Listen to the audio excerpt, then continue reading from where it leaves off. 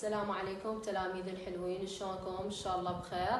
وياكم الست رقية لمادة الرياضيات الصف الثالث الابتدائي من مدرسة جوهرة العلم الأهلية الابتدائية. وصلنا إلى موضوع الظرف في العدد سبعة آه، من صفحة 141 إلى صفحة 141 خلينا ناخذ فقرة تتعلم.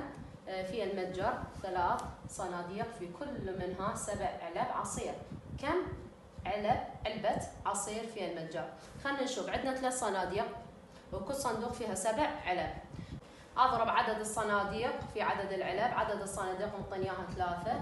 علامة الضرب أنزلها في آه، عدد العلب سبعة. أضرب ثلاثة في سبعة. حيطلع لي واحد وعشرين. هاي الواحد وعشرين عدد العلب في جميع الصناديق. هسه خلينا ناخذ فقرات. أتأكد رقم واحد منطيني ثلاثة في سبعة يطلع لي واحد وعشرين. رقم اثنين ثمانية في سبعة يطلع لي ستة وخمسين. هنا أنا منطيني ضرب عمودي. هنا برقم واحد والاثنين منطيني ضرب أفقي. فماكو مشكلة نفس الناتج يطلع. إذا ضرب عمودي كان وإذا ضرب آه، أفقي. أربعة في سبعة يطلع لي ثمانية وعشرين. رقم أربعة آه، واحد في سبعة. آه، أخذنا بالدرس السابق قلنا أي رقم ينضرب بالواحد يرجع نفس الرقم. إذا واحد في سبعة يرجع لي سبعة.